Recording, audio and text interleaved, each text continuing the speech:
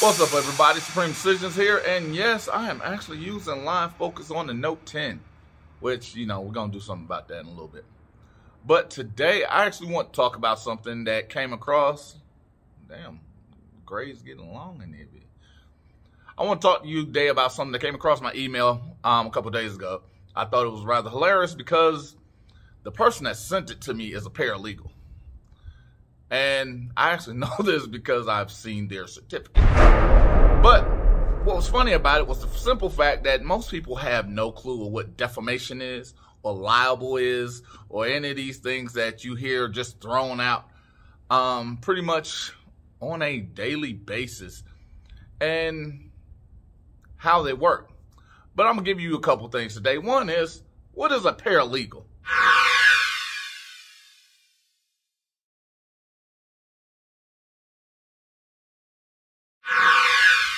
Paralegal, from my handy dandy notebook, is a person trained in subsidiary legal matters, but not fully qualified as a lawyer. It is what it is. So that lets you know they're the people that actually do like the hands-on case searching and all that good stuff to put together motions for a lawyer to argue. Knows it didn't use the word attorney. I'll get into that later. We want to talk about defamation want to talk about that pesky thing called defamation.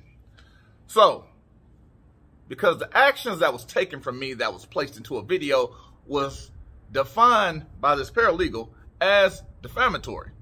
Now, when we look up the word or the explanation of defamation is the action of damaging the good reputation of someone via slander or libel.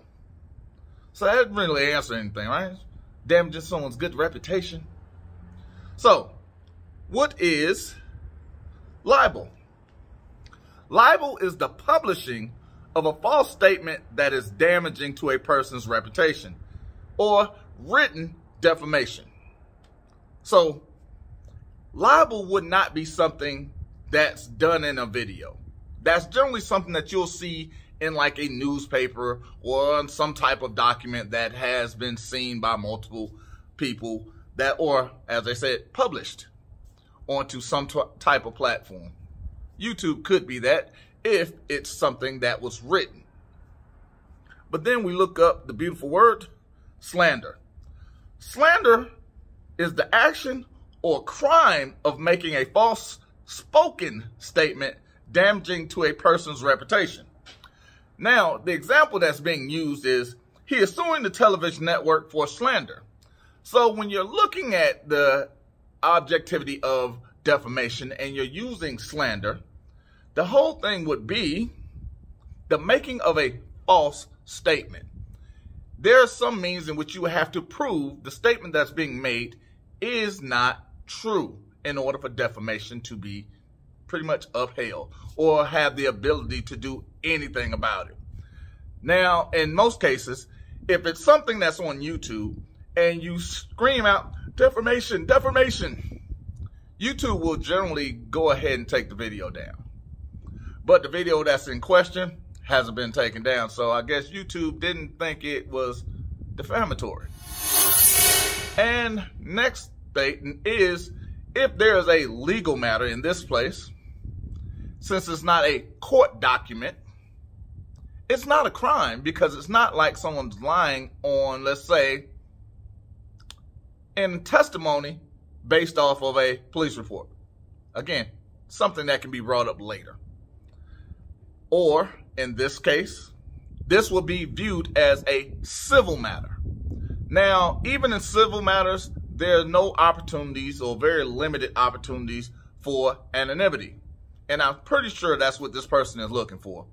But you don't get it because if you sue someone, there's this thing called having the right to confront your accusers and then there are other opportunities that lie before you that allows you to get the information necessary to countersue that person.